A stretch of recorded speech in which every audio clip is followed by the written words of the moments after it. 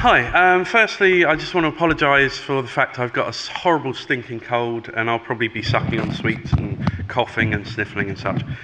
there you go, example one. Um, my name's Tom Leclerc, I'm the ASO manager at Wooga, um, and I want to talk to you today about review mining.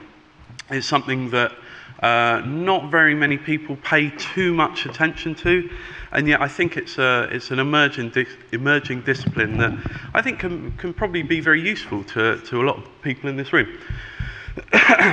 Sorry. So, um, if there's anything that you want to ask, um, feel free to grab me later. I love talking about this stuff or, or ASO in general. Um, so let's get started. That way.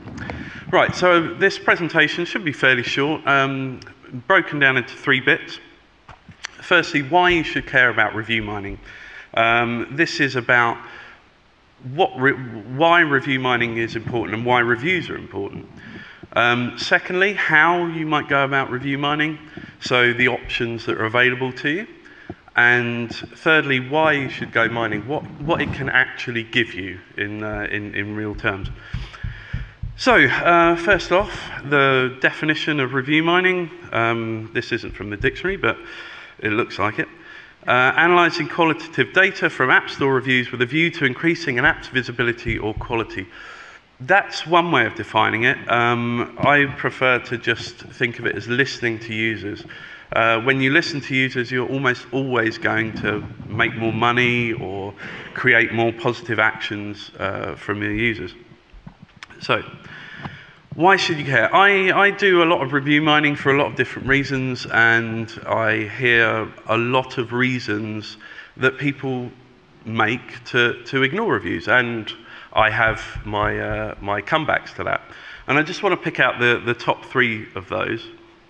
Um, far and away, the most common one I, I find, uh, the most common reason to ignore reviews is that you can't do anything about bad ones. And while this isn't entirely true on Google Play, on iOS, currently, there's no way of changing a, a negative review.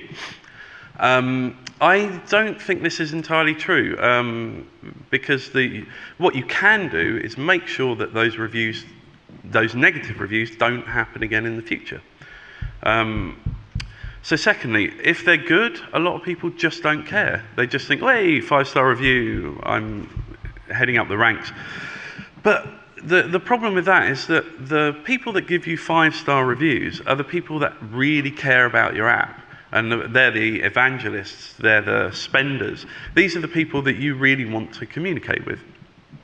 Um, thirdly, a lot of people simply can't, maybe perhaps they're developers or, or marketers, they simply can't understand that quantity of qualitative data. They prefer numbers, they want stuff broken down really easily. Um, and, and what I'd say to that is review mining can turn a lot of this qualitative data into quantitative data, which then makes it a lot easier to analyze, particularly if you automate it somehow.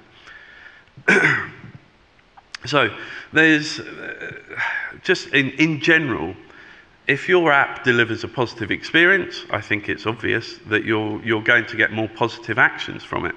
And review mining will help you come closer to your users and thus give them a more positive experience. Um, the, the sheer value of the, the data that we get is astonishing. I mean, if, if, in this example, if Candy Crush paid for this data, and it's pretty basic data, but it's, it's high quality data, they'd be paying 70 grand for it. And it's remarkable how much free information we're given and how little we use it. Mm. Uh, and finally, I think really importantly, uh, nine out of the 10 top grossing apps have less than 5% negative reviews, which, okay, it doesn't necessarily mean that all of these top app, top app developers are directly review mining, but what it does mean is that they, they obviously see it as integral to their success. So I think uh, including reviews into, into or a metric of reviews into your ideas of success, I think is hugely important. So, excuse me.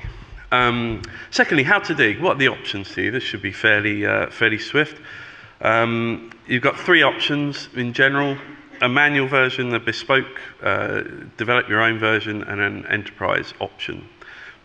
So, firstly, manually, how, how do you manually uh, review mine?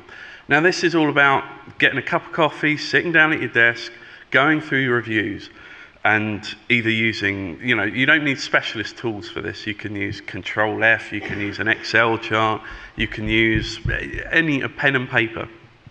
Um, and this is about going through your reviews, looking for high quantity uh, keywords or sentiments, and using those to improve your app or improve your visibility. So this is just you, pen, paper.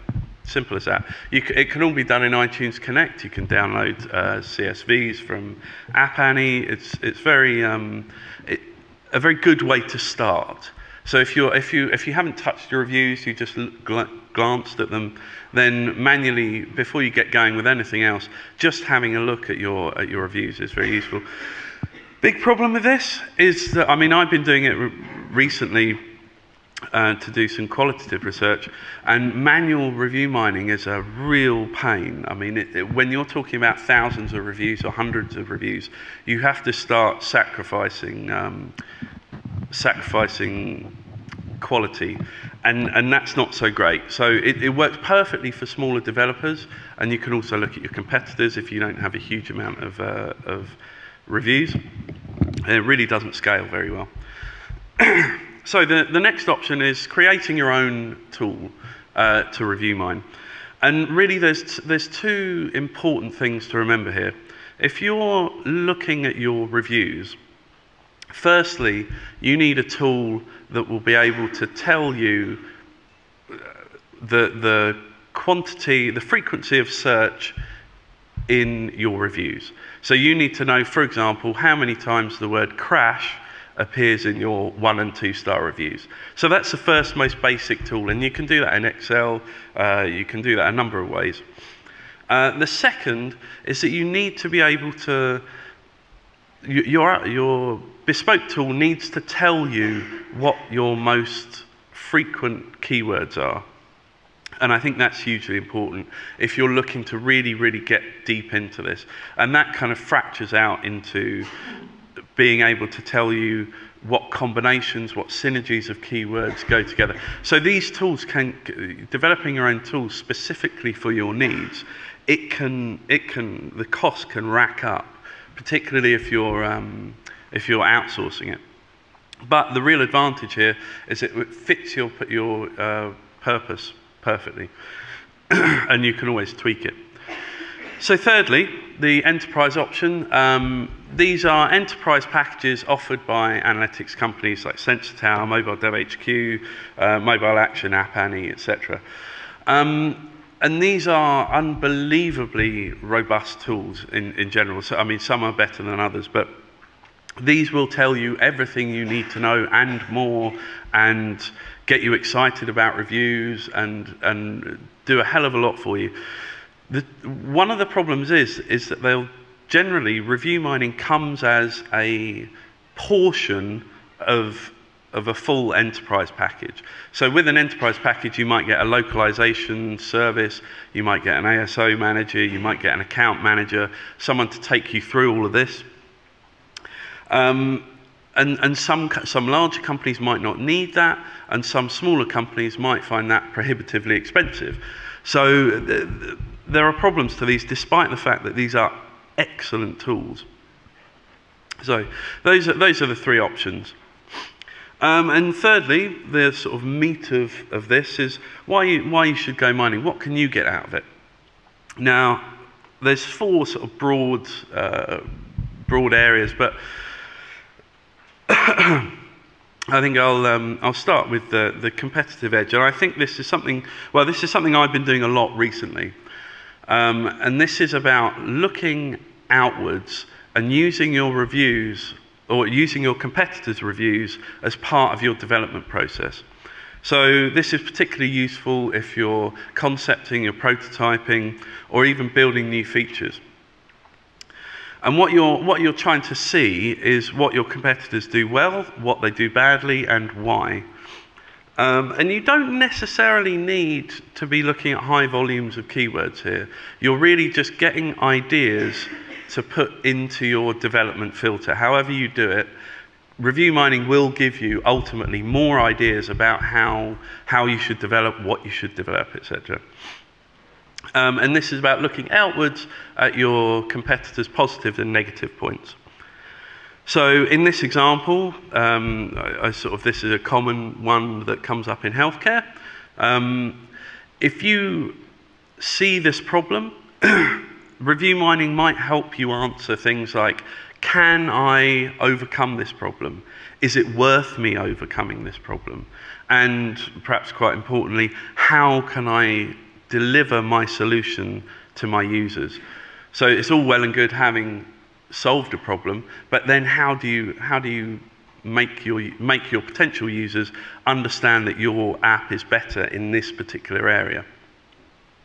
So that's a competitive edge, like using review mining or app reviews in, in general to, as part of your review pro, uh, part of your development process.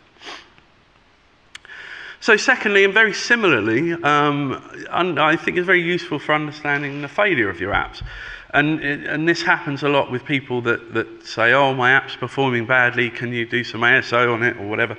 And I, I don't think that that's a particularly good way of looking at it. To, to ask, to, to have a problem and then ask a professional without then doing the, doing the things that, you know, basically listening to your users. Um, and this is particularly useful for poor performing, poor performing apps and looking at whether your monetization works. It's particularly good at looking at whether your monetization system works, in fact. Um, and the, the key points here is that you're, you're looking inwards. You're looking at your own negative reviews. You're, sometimes you might want to look at the, the higher reviews to see whether you can ring fence certain features of your, of your app, whether you've got a, a, an app that people don't like but they love one feature, for example. And again, you don't necessarily need to be focusing on high volume, uh, a high volume of complaints because you're getting ideas. This is about generating ideas that will help you fix your app or help you produce a, another feature. So in this example of, of games, again, like the, the Facebook syncing monetization Uh, aspect of games is often one that pops up in review mining. And you have to ask yourself, or this review mining may help you answer questions like, is this integral to my app?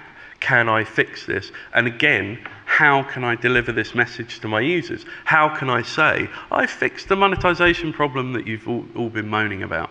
I think all of the, even the top apps don't really look at review mining to, to help them deliver a message. They don't look at, um, at how useful this can be.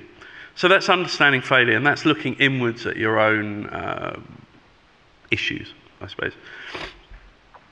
So, thirdly, sentiment analysis. Um, this has been happening in the web for ages, well, across everything high street, banking, blah, blah, blah. Um, and sentiment analysis is, is all about grouping together keywords or sentiments that help you get a much, much better idea of exactly why your users like or don't like your app, or like or don't like another, another company's app, or, and also how your app performs in relation to, to theirs. So this is really useful for, for building brand to find out what, you know, you could have this great idea of brand and, and people, and you're really behind it. But if your app, reviews aren't reflecting that, then you may want to change it. You may want to start focusing on the things that people do like about your app. Um, also, really, really useful for prioritizing your next move. Uh, and I've, I've, found this particularly useful at, at Wooga. So, what you're doing is you're looking across all of your reviews, you're looking at your negatives, you're looking at your positives, so one and two star reviews and five star reviews. Then you're looking in the middle, so three and four star reviews, for more qualitative data, so more uh, people that, that give three and four star reviews generally give more suggestions, recommendations. They're generally a little bit more engaged with your app than people that give one or five stars. So, what you would do is you would look go into your, your reviews or, or your competitors' reviews and then group together the ideas, the, the, the, keywords that create a sentiment. So, for example, in this example, if, you're, if you want to find out whether your monetization strategy is an issue for your app and it's something that's turning people away, you might start looking at things like price, pay, cash, money, etc., and grouping those all together to, to then prioritize uh, uh, your next move. So in the example here, um, this isn't from the travel industry, but I don't know why that's said, but anyway. Um, in this example, uh, the technical sentiment and the price sentiment, there's huge differences there. There's, if I'm looking at that, I would say that I need to fix my technical issues. I need to fix my crashes, my bugs, etc. At the same time, I could look at that and say, actually, yeah, my, my pricing strategy works. It's, it's fine. It's not turning people away. I can improve some elements, possibly. But my next fix, my next development sprint is all about fixing my uh, technical aspect. So that's sentiment analysis. That's bringing together ideas or concepts to give you a better idea of where you should go next. So, fourthly, keyword generation, this is something that's very, very close to my heart and, and something that I think is essential for any ASO out there um, in the same way that you, that you wouldn't, um, you wouldn't look at keywords on web without having a little look at Google, Ad, uh, Google Planner uh, or Google Trends. I, I think the reviews are a key, key thing for any, anyone looking for keywords out there. So this is all about finding those hidden gems of language. Not necessarily just for keywords, but we'll come on to that in a minute. Um, and this can also be really useful for codifying your, your brand language. So what you're doing is you're taking the reviews, the language that your users use, and then you're giving it back to them, whether it's in community management, whether it's in marketing. Uh, and this is a technique that's been used in sales writing for, for uh, since it began. You take the language that your users love and you use it back to them. You communicate in the same language. So this can be incredibly useful for that as well, uh, which then is useful for community management, marketing, etc. So what you're doing is you're looking for this extreme positive language, things like love, addict, shock, hate. Well, actually, maybe not hate probably a bad example.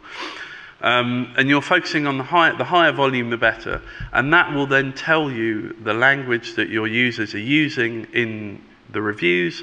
And then you can put that into your keyword filter, in, into your sort of pool of keywords that you then filter down and get to your nominated 100, uh, 100 character keywords.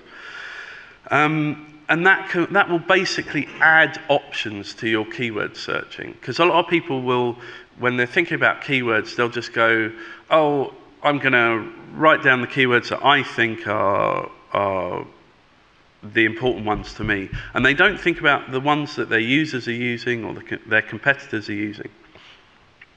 So, um, in the example of a, a, productivity app, you might see here um, high volume keywords such as meeting, addict, freelancer, etc. And you would then put those into your pool of possible keywords and filter them down as normal. And I found so many amazing keywords doing this. Um, so yeah, that, so that's keyword generation. And remember, it's not just about keywords, it's about potentially about marketing or community management as well. So, uh, the three things I'd, i just want people to take away from this is that reviews are incredibly valuable and we don't use them enough. It's simple as that. No, nobody uses them enough as far as I'm concerned. Um, and the proof of that is that all of the top apps, top grossing apps, consider reviews in some way or another. Uh, they may not be directly review mining, but they're considered. And thirdly, there's, no matter who you are, no matter what size of company you are, there's some combination uh, of review mining option that will suit you, that will in some way help you. so, I uh, just want to say thank you for listening. Uh, and if anybody's got any, um, any questions, feel free to either email me or talk to me later today. Okay, thank you.